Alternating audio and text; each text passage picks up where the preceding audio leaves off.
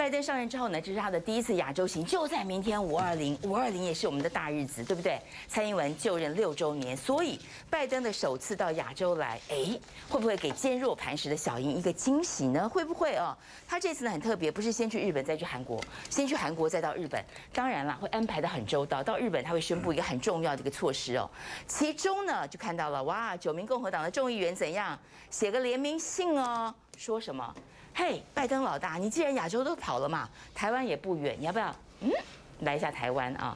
所以我们就突然想到，今年以来所有的美国政治人物来都是突袭式访问，有没有？嘣的一下就在松山机场，嘣的一下就出现，大家都愣一下，然后马上就离开了。所以拜登会这样吗？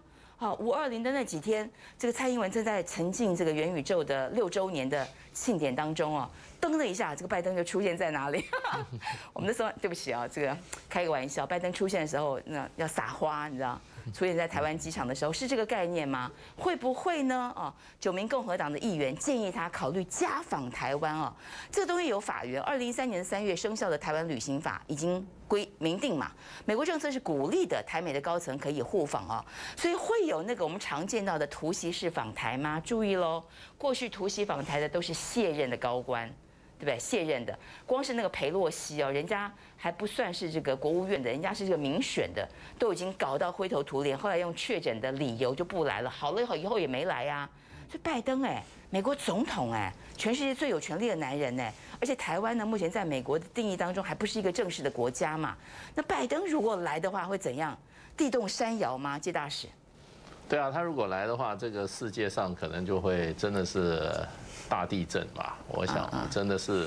那那我先问你，你觉得几率是怎样？就跟核战一样哈，几率嗯大于零吗？还是等于零？呃，我我我很少说百分之百不可不可行啊。如果他哪一天他飞机飞机故障，突然怎么样要破降破到台湾啊？以前发生过啊。对啊对啊，我记得。以前美国那个大黄蜂号那个那个那个战斗机就曾经迫降在。那就是人道嘛，对不对？他是用一个人道的那个人道理由就迫降到台湾了。那或者是说，我假设一个状况，假设这个空军一号上面有人突然肚子痛、盲肠炎，对，啊，必须要降落在台湾啊，接受医疗照顾，所以那上面再有美国总统，嗯，那这个飞行器就等于是美国国土嘛？美国国土啊，上他他要有一个，然后蔡英文上飞机，对，这都是我幻想出来的啊，对对，有可能啊，啊，那就是说这种意外事件非人力所能抗拒的话，他就不负责任啊，嗯哼，要不然要他负责任的话。或者引发两岸的这个冲突的话，那我想他就会考量了。那不过他要想一个非常好的一个方式。所以你觉得这个几率不是等于零哈？不会，没有世界上没有百分之百对啦，因为大家都说俄乌战争不会打，不是也打了吗？对啊，对不对？对，所以不是等于零哈。而且他。拜登最近，人家常常觉得他的那个精神状况也不是很正常。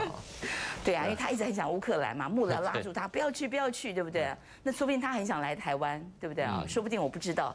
然后这个蔡英文呢，就可以有个大大的惊喜。当然啦，我还是要问，因为接大使对于国际局势最了解，对于美国也很了解啊。你觉得不管拜登想不想来啊，在这件事情上，美国红线还是会守得牢牢的吗？假设有那么一个大于零的状况出来的话。是不是真的就是两岸要开打了？我想大概基本上两岸就就就真的是濒临战争的边缘了，濒临战争边缘。不过不会立刻发生了，不，我想就不会立刻发生。对中国大陆这个已经就不只是踩红线了，这个就是跳到红线里面去了嘛，对不对？这个就是说，其实大陆现在有很多棘手的问题要处理。对，台湾问题不要去插队。你一插队，你变成他第一个要处理的问题的时候，那就那就我们全部台湾两千三百万问题，那两千三百万人就要面临这个极严重的啊战争威胁。那如果照目前的情况之下，并没有那个立即要发生。可是如果美国在中间啊玩那么一个哈诡计啊，或者说一个促战或者故意刺激的话，那两岸问题立刻提升。呃，中国大陆话可能这个两岸问题呢会提升到很前面。因为这呃几名这个议员哦写了这封信，所以触发了大家很多想象嘛。当然是拜登本人来，我觉得那个可能性确实是很低了啊。但是有很多状况，像我刚刚讲的突发事件，对不对啊？人道救援，或者是说呢，等拜登到日本、韩国之后呢，哎，他的某个官员就绕绕绕到台湾来，是不是也有可能？因为过去来的都是现任的，如果来一个现任的，也可以让大家嗨半天，不是吗？对啊，那个你看那个。九名都是共和党议员啊，那拜登是民民主党啊，我想共和党就是就是冲康啊，冲康。害拜登啊，把他调到一个非常让他让他面临他自己政治生涯危机的一个一个一个一个一个局里面。他就故意在戳拜登嘛，就是你对台湾坚若磐石，那有本事你去啊。对对，就考验他，然后刺激他。其实是冲康给他跳，哦，冲康给他跳，对。好，那当然这个呃，拜登来哈，他呃最重要的一个任务哈，就是他要推他这个印太经济架构，简称是 IPEF。那根据了解呢，这个韩国非常非常的积极哦。这个新总统上任之后呢，就不断的强调哦，会推动南韩加入。所以呢，我们看到这个二呃，拜登二十号要去，那二十一号呢，呃，尹锡悦跟拜登就在首尔召开这个美韩的元首峰会，到时候呢，就会现场就会以会员，因为南韩是个国家嘛，就会以会员的资格哦出席二十四号呃所举行的这个领导人视讯峰会。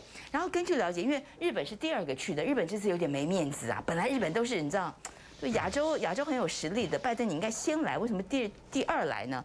但是呢，拜登应该会在跟岸田文雄会面的时候宣布启动，这也等于是很重视日本的概念，给日本一个面子，宣布启动他的这个 IPEF。所以呢，当然这个日本媒体哈就报道，这是其实就是对抗中国所主导的 RCEP。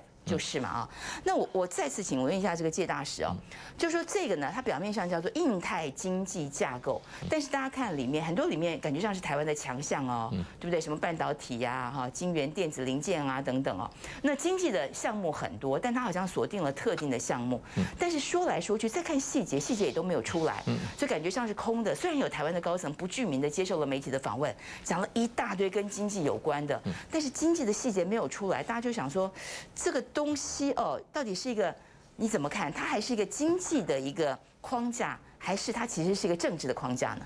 政治政治比较大，那经济也有一些实质的内容。不过它要达成它的经济目标啊，基本上只能找韩国跟日本，其他国家没有那个条件。为什么？因为它要切断这个哈，这个外界，尤其这个印太地区啊。在跟中国大陆这个技术的交流，这个科技的交流，跟市场的这种啊结合，他要把它切开。那说实话，今天就是说从技术角度来看的话，在印太也只有日本跟韩国有比中国大陆哈高一些，中国大陆所或缺的可能一些技术，并不是全面性的。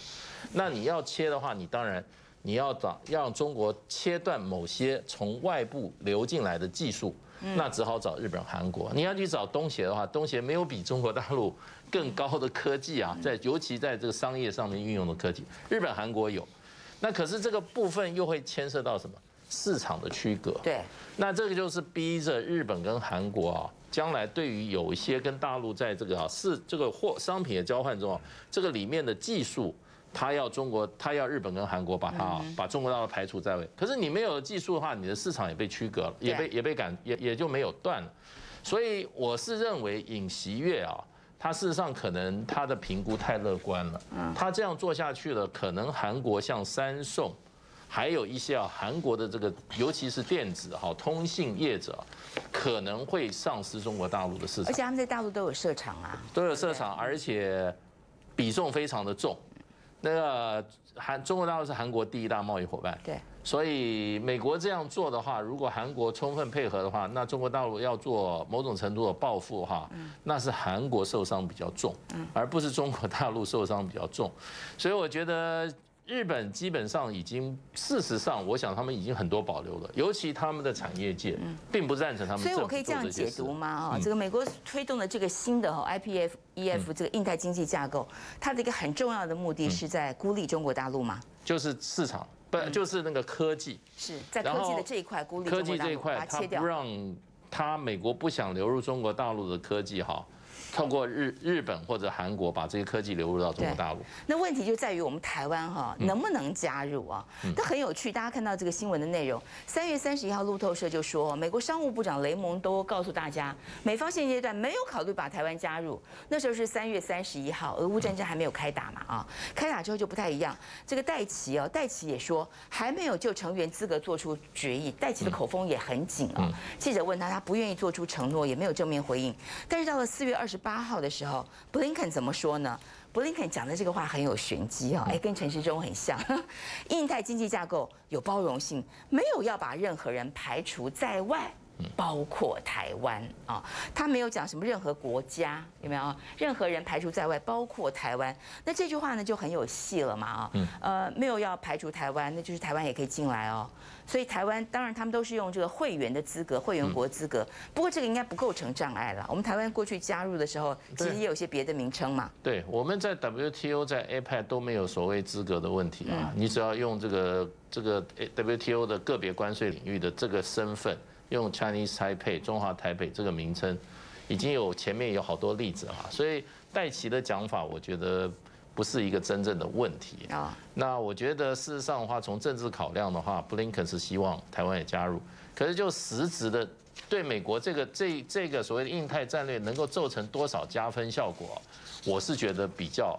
我是比较打打折扣，这里帮你大家科普一下，有些人可能还不知道，旺旺水神微酸性电解次氯酸水与病毒细菌作用打架完之后呢，就变成了水，温和不刺激，它比酒精跟漂白水呢更环保，适合长时间多次频繁的使用，请赶快上快点购，买的时候记得输入我的推荐代码就有折扣哦。